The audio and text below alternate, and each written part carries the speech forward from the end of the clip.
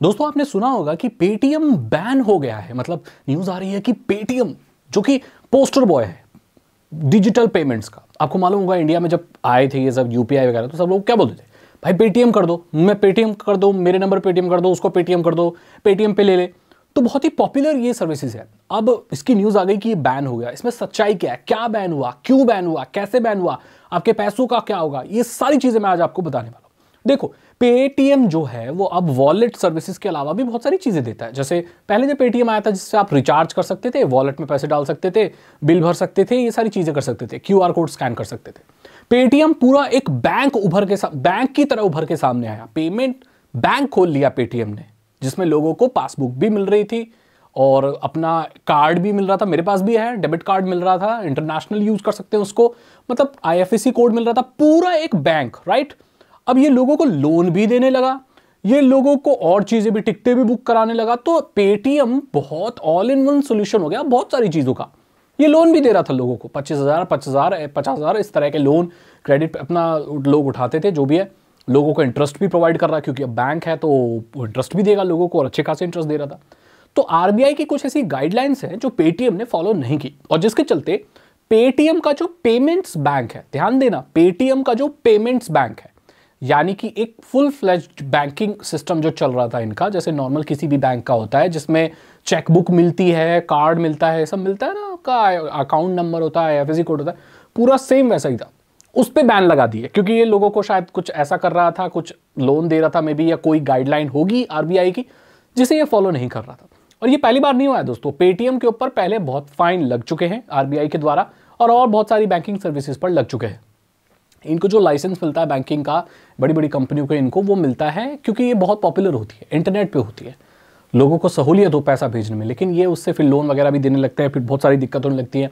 सवाल तो ये भी उठते हैं कि क्या इसके ऊपर चाइना का इन्वेस्टमेंट है? तो दोस्तों हाँ 2023 तक 8 परसेंट सिक्स परसेंट कुछ परसेंट तक चाइना की एक अली बाबा कंपनी है, उसकी एक और ब्रांच है, उसका कुछ पैसा पेटीएम में था मतलब उन्होंने इतने लिए थे। आपको मालूम हुआ भारत में ऐसी बहुत सारी कंपनियाँ हैं जिसमें चाइनीज़ कंपनियाँ इन्वेस्ट कर रही हैं। मतलब चाइनीज़ कंपनियाँ डायरेक्टली हमारे यहाँ आकर बिज़नेस नहीं कर रही तो फिर वो इंडियन कंपनियों में अपना पैसा लगा रही हैं। तो अभी भारत में ऐसी बहुत सारी कंपनियाँ हैं दोस्तों, जिसमें चाइना का पैसा लगा हुआ है। अब पेटीएम में है अभी भी, नहीं है, पता नहीं, लेकिन ऐसे आरोप 2023 के आसपास उस पर लगे थे। तो अभी क्या बंद हुआ है? पेटीएम का जो पेमेंट्स बैंक है, तीन सर्विसेज़ चलती है पेटीएम की। पहली यूपीआई दूसरी वॉलेट और तीसरी इनकी पेमेंट्स बैंक तो पेमेंट्स बैंक है दोस्तों, वो बंद हो गया है। फरवरी में एंड तक ये बंद हो जाएगा, मार्च तक तो नहीं चलेगा। लेकिन इनकी वॉलेट सर्विसेज़ और यूपीआई सर्विसेज़ चलती रहेंगी। यूपीआई में कोई दिक्कत नहीं है दोस्तों, क्योंकि वो आपके बैंक से पार्टनर होकर चलता है। तो जो पेटीएम है, वो सिर्फ़ पेमेंट अपने पेमेंट्स बैंक से नहीं, बाकी सारे इंडियन बैंकों के साथ मिलकर भी काम करता है। यानी कि उनके यूपीआई सर्विसेज़ से मिलकर काम करता है। तो अगर ऐसे में अगर आपका SBI का यूपीआई से आप पेमेंट में पैसा कुछ भी बिल देते हो या करते हो तो वो चलता रहेगा, वो बंद नहीं होगा। हाँ अगर आपके पैसे पेमेंट्स बैंक में है पेटीएम पेमेंट्स बैंक में तो वहाँ आपको पैसे निकाल लेने चाहिए अपने। अभी तक निकाल पाओगे, पूरा महीना पड़ा है, आराम से पैसे टाइम है, निकाल सकते हो, कोई दिक्कत नहीं है उसमें।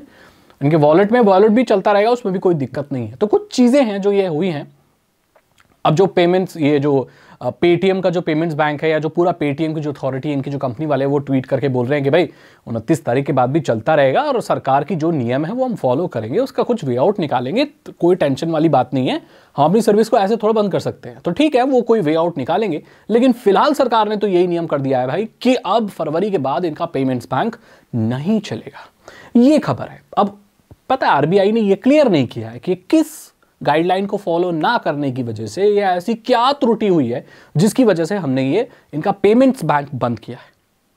तो जो लोग फास्टैग चलाते हैं, बहुत सारे लोग क्या गाड़ियों में फास्टैग लगाते हैं या कुछ भी जो सब्सक्रिप्शन लेते हैं, जिनके पेमेंट्स बैंक से पेटीएम पेमेंट्स बैंक से कटता है, वो सर्विसेज़ सब बंद हो जाएगी। तो आपको नया फास्टैग लेना पड़ेगा, क्योंकि पेटीएम पेमेंट्स बैंक तो रहेगा ही नहीं, अगर नहीं रहा, क्योंकि फरवरी के बाद तो नहीं ही रहेगा। कुछ वे आउट निकालें या कुछ आगे करें तो वो भविष्य का कुछ नहीं कह सकते, पर अगर बंद हो जाता है वो तो फिर आपका जो फास्टैग है, वो सब है या जो आपने नेटफ्लिक्स का सब्सक्रिप्शन या कुछ भी अगर पेटीएम पेमेंट्स बैंक से ले रखा है तो वो काम नहीं करेगा। तो आपको अलग बैंक से लेना पड़ेगा, नहीं तो अपने normal S B I H D F C I C I bank जो भी आपका बैंक है, उससे आप ले सकते हो। तो ये दोस्तों पूरी जानकारी है। पूरे तरीके से क्लियर आरबीआई ने नहीं किया है। जैसे कोई खबर आती है, मुझे मिलती है या मैं न्यूज़ में पढ़ता हूँ जैसे भी तो मैं आपको अपने सोशल मीडिया हैंडल्स पर इन्फॉर्म कर दूँगा, अलग से वीडियो बनाने का पॉइंट नहीं बनता। आ, तो बस यही चल रहा है भाई अब। अगर आपको वीडियो अच्छी लगी तो उसे लाइक करें अपने दोस्तों के साथ शेयर करें। साइबर सिक्योरिटी और इथिकल हैकिंग में इंटरेस्ट है तो डिस्क्रिप्शन चेक करें। टू नाइनटी नाइन रुपीज़ के तीन इथिकल हैकिंग कोर्सेज हैं। आसान भाषा में आपको इथिकल हैकिंग सिखा देंगे। मैं मिलता हूँ आपसे अगली वीडियो में। Thank you so much and good